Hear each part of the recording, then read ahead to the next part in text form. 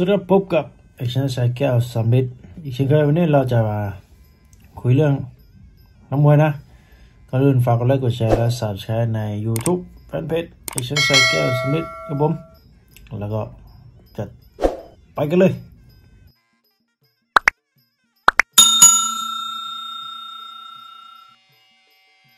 เอ้ยสวัสดีครับ สวัสดีสวัสดีครับพี่หวานด้วย ครับผม สวัสดีอ่า เม้งคอนวันครับผม สวัสดีสวัสดีฝากติดตามเม้งคอนวันนะครับฝากติดตามสับตะไคร้ใบมะกรูดมะนาวมะพร้าวส้มโอกาแฟแตแตงงแตโมงโมชโยของยูฮิ้วมาเด้อโอเคพี่เออแนะนำชื่อหน่อย คุยเรื่องมวยครับแนะนำชื่อเกียรติประวัติอ่าผมชื่อชื่อหวานครับชื่อเล่นชื่อต่อยมวยนาคาแก้วสำเร็จครับผมเป็นคนหนองคายครับเป็นคนหนองคายครับ มีของคำขวัญไหมหน้องคาย คำขวัญหนองคายอ่าเมืองปากท่อหลวงพ่อพระไสยสะพานไทยลาวอ้าวลืม หมดแล้วครับหมดแล้วแค่เนี้ยมันสั้นอย่างนี้ไม่ไม่ไม่เอายาวไม่เอายาวไม่เอาหอนยาอกงคายไม่ชอบยาวนะชอบยังไงเพิ่งต่อยมวย ตอนตอนที่บ้านใช่ไหมเริ่มตั้งแต่เริ่มครั้งแรกเลย ตอนแรกก็อยากต่อยแต่ในท้องแม่อะนั่นแต่ว่าซ้อมไม่เป็นซ้อมไม่เป็น ก็อยู่ที่บ้านครับอยู่ที่บ้านอยู่อายุประมาณแปดปีครับแปดปีเก้าปีเริ่มต่อยมวยครับ แล้วก็ได้มีโอกาสได้อยู่ที่ค่ายมวยแก้วสุบิทครับ ตอนอายุประมาณสิบสามจะสิบสี่ปีครับ แล้วสิบสามสิบสี่ปี เข้ากรุงเทพ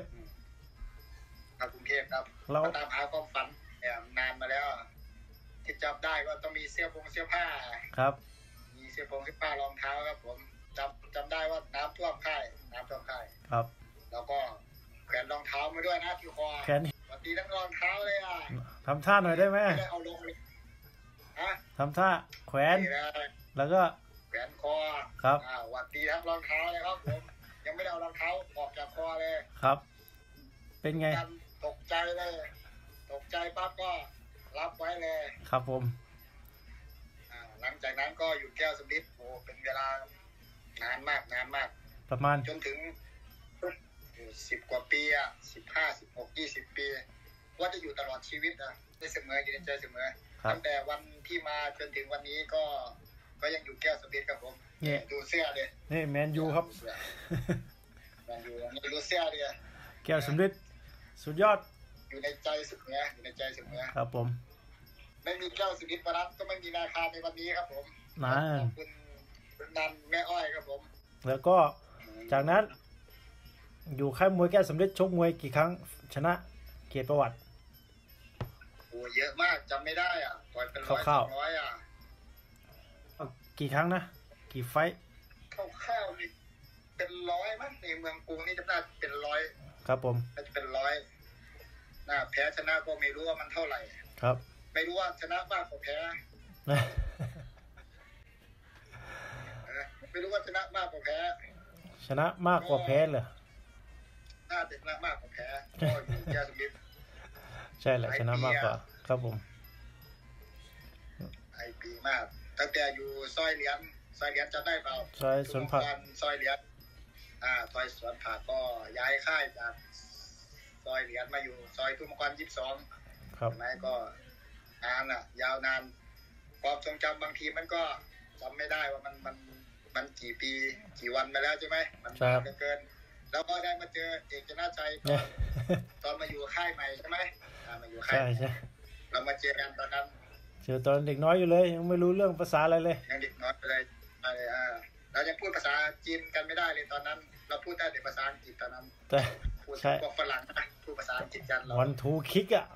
ฝรั่งคล่องอะ one one two kick one two kick one two kick one two knee elbowเออใช่ใช่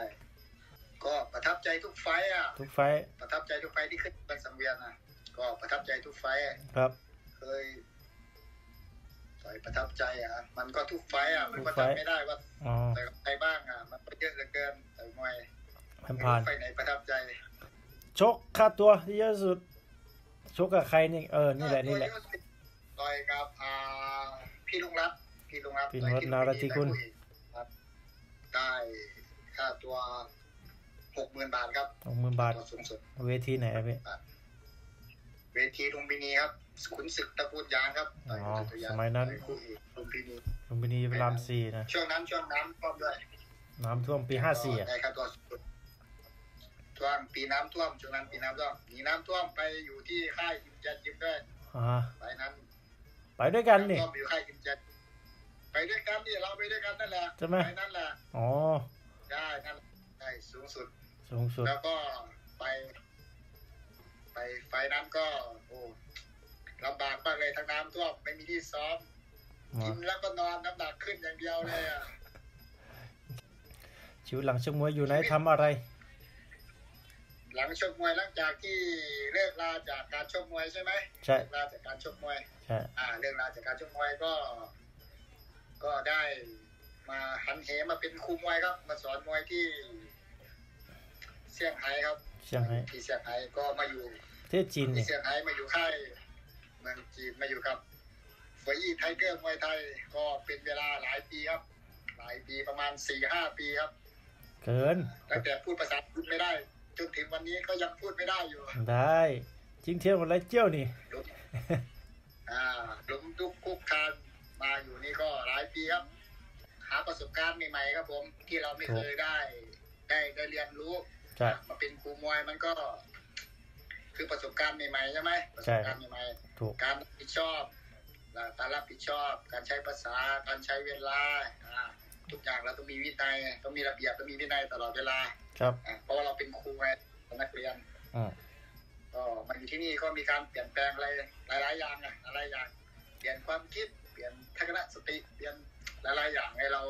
เข้ากับคนได้ เข้ากับงานได้ เข้ากับเพื่อนร่วมงานได้อ่าครับ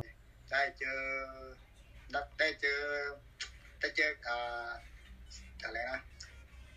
เจอประสบการณ์ใหม่ๆที่เราไม่เคยเจอไงอ่าครับในการการสอนมวยเนี่ย เช่น เมื่อก่อนเราอาจจะไม่รู้ว่ามันมันคืออะไรไง เรารู้อยู่แต่เราไม่รู้เรียกว่าอะไรหลาย ๆ อย่างไงครับประสบการณ์อะ ประสบการณ์หลาย ๆ อย่างที่เราไม่เคยเจอไงเราได้มาเรียนรู้ได้มาได้มา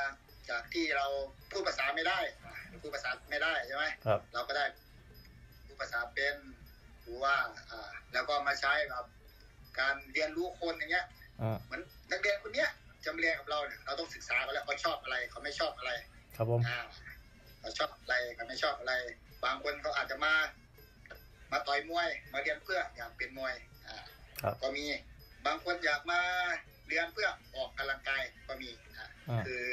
การได้ประสบการณ์กับการเรียนรู้นักเรียนคนนี้เป็นยังไงนักเรียนคนนี้ต้องการอะไร อ่า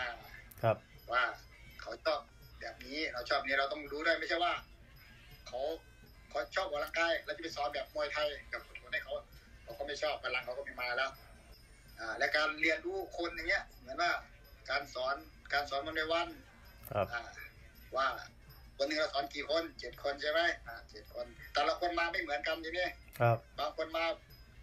โป๊กป้างโป๊กป้างอยากเป็นมวยเลย อ่า บางคนมาเพื่อจะมาเรียนออกกำลังกาย บางคนอยากมาเรียนเพื่ออะไรเบสิกก็มีครับอ่าเบสิกก็มีอืมนักเรียนบางคนอยากมาเรียนนั่งคุยกับครูก็มี นั่งคุยกับครูก็มีอ่าหลายรูปแบบ หลายรูปแบบหลายรูปแบบ มาเจอที่นี่หลายรูปแบบ มาหลายรูปแบบแล้วก็การทำงานที่นี่มันก็ไม่เหมือนเหมือนการต่อยมวยใช่ไหมมันไม่เหมือนการต่อยมวไม่ยเหมือนไม่เหมือนกันมันคนละอย่างกันใช่เราต้องมีความคิดเหมันเราสอนเสร็จวันนี้พรุ่งนี้เราต้องคิดไว้แล้วเราจะสอนอะไรเขาสำหรับแขกที่มาประจำอย่างเงี้ย ครับเขาเรียกอะไรเหมือนการเตรียมตัว ใช่มันการเตรียมตัวเราต้องเตรียมตัวอยู่ตลอดเวลาไง เพราะว่าถ้าเขามาเราจะไม่เจ็บมาก คือมีการพัฒนาจากที่ จากที่ไม่เป็นอะไรเลยอะภาษาเนี่ยภาษานี่สำคัญเลย จากที่มาใหม่ๆก็พูดไม่ได้จนถึงทุกวันนี้ก็ยังพูดไม่ได้อยู่ได้ขอสักหนึ่งก็ได้ขอสักหนึ่งคงูตัวปลาเพื่อนำขอสักหนึ่งคำแบบยากๆเลยยากๆเลยใช่ไหมครับยากๆเลยเนี่ยกลัวจะกลัวจะจำไม่ได้อะ ก็ อีเออซันซื่อ มันยากเลย เออ เอาปานกลาง มันเป็นเบสิกอะไร เบสิก ฮะ เอาภาษาจีนปานกลาง ปานกลางครับปานกลางอ่า你在哪里 ครับผม แปลว่า อ่า你在哪คุณคุณอยู่ที่ไหน อ๋อ นี่ใจหนาลีแปลว่าคุณอยู่ที่ไหน แล้วถ้าเขาตอบกลับมาว่า ฉันอยู่ที่บ้านพูดภาษาจีนว่าไงอะพี่หัวใจจ้าหัวใจจ้าอ๋อสามคำเนี่ยนะหัวใจจ้าอ่าหัวใจจ้าอ๋อฉันอยู่ที่บ้านฉันอยู่ที่บ้านภาษาไทยสี่คำไว้นั่นแหละฝากถึงรุ่นน้องที่ ที่จะมาสอนมวยที่เมืองจีนนะครับ ผมครับ ก็ให้ตั้งใจเรียนครับ ก็ทุกวันนี้เขาต้องการวุฒิปริญญาตรีครับ ผมอ๋อคือเป็นใบเบิกทางครับผมครับ เพื่อจะมาทำงานที่เมืองจีนมันจะเข้าง่ายออกง่าย มากกว่าที่เราจะมีแต่ความสามารถ แต่เราไม่มีวุฒิอย่างเงี้ยเราก็มาลำบากครับครับมาลำบาก เพราะว่าเราไม่มีใบเบิกทางอืมเพราะว่าทุกวันนี้กฎหมายเมืองจีนเขาต้องการใบปริญญาตรีเพื่อรับรองเป็นวุฒิเป็นวุฒิเหมือนว่าจะมาทำวีซ่าทำงานครับผมเพื่อเป็นใบรับรอง แต่ถ้าเรามีวุฒิป .6 ปหกม .3 เนี่ยเราก็มาปากหน่อยมันลำบากหน่อยอาจ ลำบากเพราะว่าเขาไม่สามารถออกอ่าวีซ่าไม่ออกสามารถอวีอกวีซ่าซ่าอ่าคุมไม่ให้ได้อ่าวีซ่าคุมไม่ตอนนี้อยู่เซี่ยงไฮ้ใช่ไหมครับ